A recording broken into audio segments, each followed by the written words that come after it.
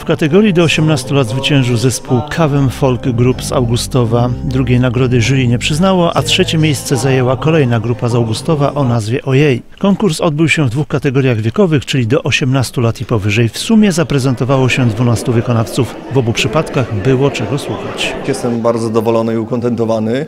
E, Po pierwsze młodzieżą, która przyjechała do nas e, z daleka, na przykład z Augustowa, e, że są tak młode osoby, które tak chętnie i fajnie się bawią, e, śpiewają na fajnym, dobrym poziomie. Radomianie Amelia Kiełbasa i Michał Błędowski otrzymali wyróżnienia. Wykruszyła się młodzież.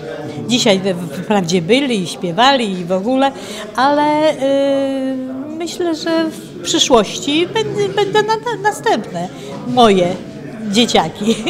W kategorii powyżej 18 lat jury najwyżej oceniło Romana Tkaczyka, twórcę żeglarskich piosenek z Mikołajek. Drugie miejsce przypadło warszawskiej grupie Zwrot przez twarz, a trzecie gumowym szeklom ze Słupcy. W kategorii starszej to różnorodność tak, wy- wykonawców e, i tutaj też już e, dojrzałe wykonania, e, interesujące, autorskie teksty, to też jest e, takie budujące i, i super, że są takie osoby. Radomski Festiwal to zdaniem organizatorów dowód na to, że żeglarska muzyka stale się rozwija, choć nie stroni od tradycji i dawnych przebojów. Powtarzają się piosenki. Nie, nie wszystkie, ale część się powtarza, część są nowe. Także uważam, że w porządku jest.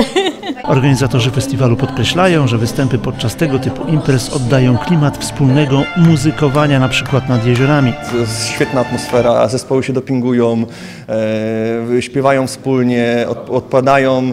E, nie, jest, jest ten klimat, e, czuje się i, i to jest takie budujące. Fani muzyki żeglarskiej mówią, że ma ona w sobie wyjątkowy koloryt słów i dźwięków. Może dlatego radomska Rafa wciąż cieszy się zainteresowaniem publiczności. Mam nadzieję, że następna y, Rafa będzie też super. Rafa to jeden z najstarszych tego typu festiwali w Polsce. Historia imprezy sięga 1980 roku, kiedy w Radomiu wystąpił zespół Stare Dzwony. W kolejnych latach obok koncertów gwiazd odbywały się również konkursy dla amatorów. Od 2016 roku organizacją festiwalu zajmuje się Dom Kultury i Dalin.